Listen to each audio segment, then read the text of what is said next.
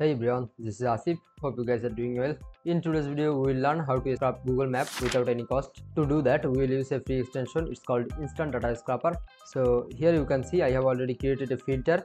My targeted keyword is lawyer in Texas. I want all the lawyers, those who are based in Texas basically. So here if I scroll below, you can see that there are many pages. So I have to scrap all those pages that are available here. To do that, I have to add a extension. It's called instant data scraper i will attach the link in the video description so you can find it easily.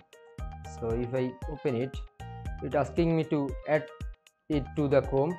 So i have to click on it and then add extension.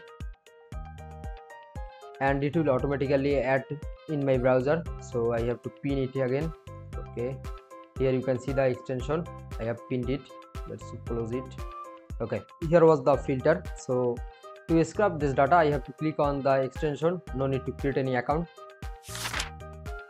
Okay here you can see that uh, it's already scrubbed the first pages. Here you can see the scrub page number and how many rows it collected. If i scroll below now i have to automate this system to scrub all the pages here. So to do that i have to click on the page that is scrubbed here the extension.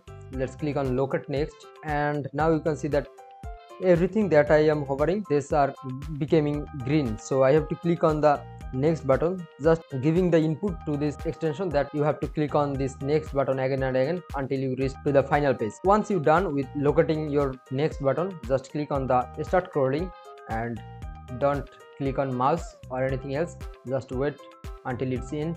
Like here you can see it's automatically scrapping the data and here you can see the page number also the row collected so it will not take too much time.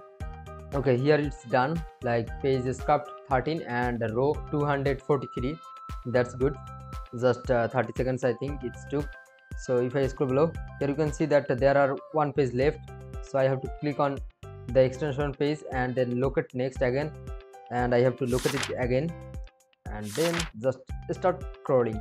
So here it's already scrubbed this page too if you can see here that uh, which data is collected like the google map url like the each individual have a url right? So it's uh, also collecting that. Then the business name law texas office okay then the rating and uh, what is the type of this business?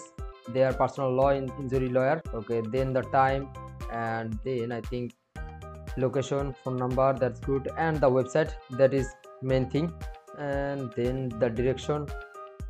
And uh, for how many years this business are in this industry? Like 45 years 10 years plus.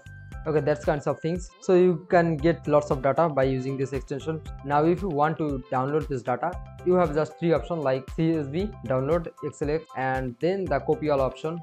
I basically go with the csv option and then if i open it here you can see all the data available here. And the website are here i think. No. These are the website so that's it. That was the video.